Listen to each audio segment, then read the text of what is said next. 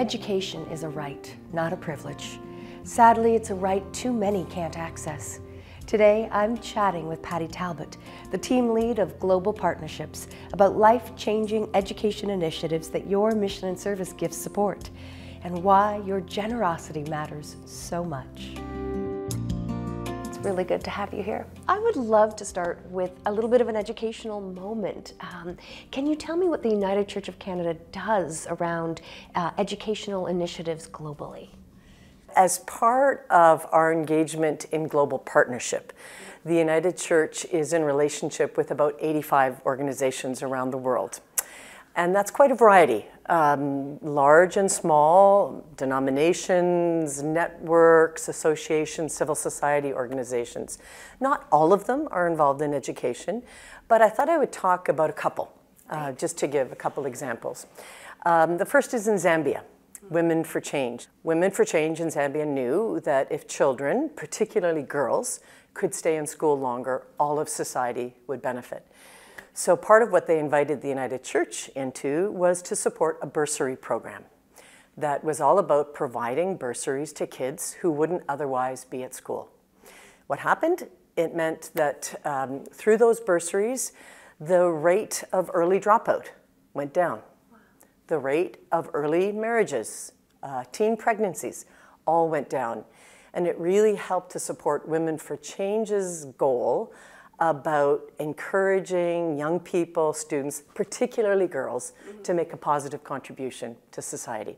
In another, another part of the world, Colombia, the, the Popular Center for Communication, is all about working particularly with women, youth, and children in marginal urban communities and rural areas to gain communication skills through programs like um, uh, art, mm -hmm. theater, dance, graphic arts, um, journalism, talking about radio and how to use the, the media to do education and outreach.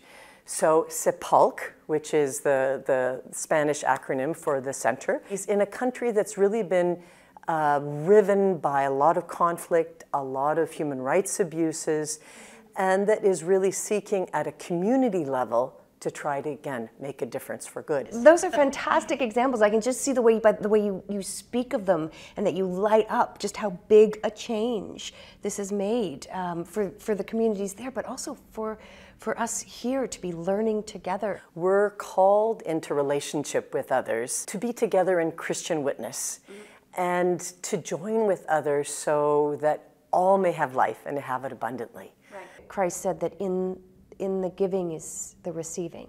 I'm wondering, you know, if there's a story that is called to mind that particularly has transformed your own heart. I'm a mother. And, you know, I think maybe others as well are particularly touched by uh, the reality of children uh, when they are in situations of conflict or trauma or suffering in, in any way.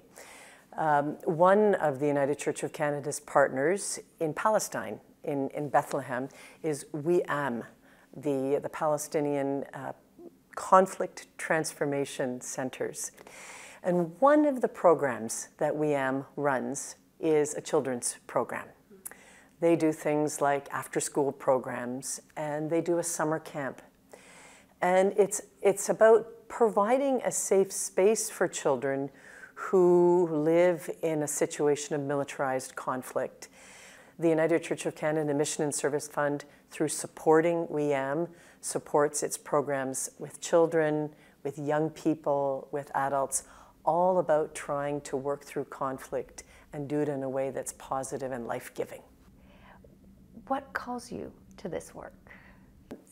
For me, and, and I hope for United Church people, being part of, of this family, this, this church, this Christian family, this ecumenical family, participating in, in, in mission and service together uh, gives us opportunities to reach out to each other, um, to, to, to face that sense of, oh, well, there's nothing I can do. Even in the most difficult times and places, um, walking together in partnership, in relationship, leads us through to a new space, a new opportunity, light, life together.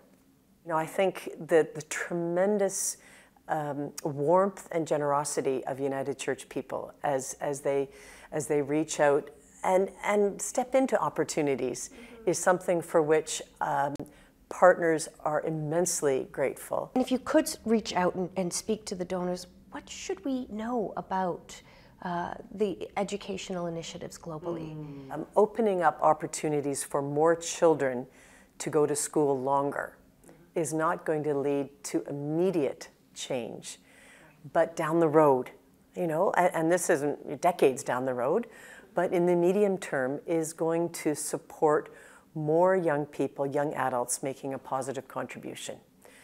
Um, so accompanying or, or being in partnership for change, for transformation, takes time and commitment and a willingness to hang in together.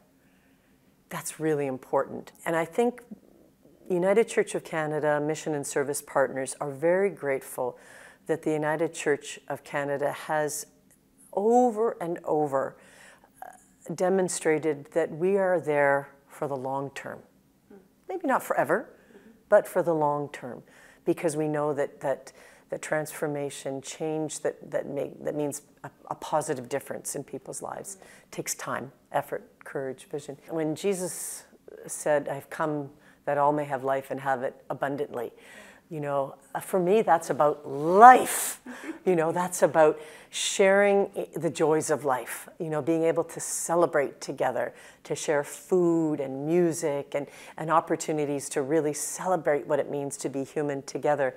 And, uh, you know, I've been in places where, um, the Philippines, for example, where there are serious human rights violations and, and communities are under threat. People's, people have, and have, been, have, have been disappeared.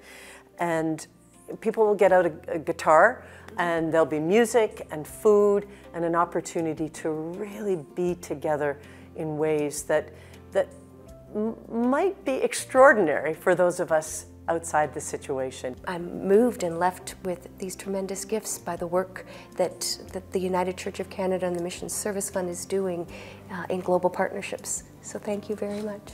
Thank you, Alexa. Your gift for mission and service will help engage partners in mutual learning and shared blessings.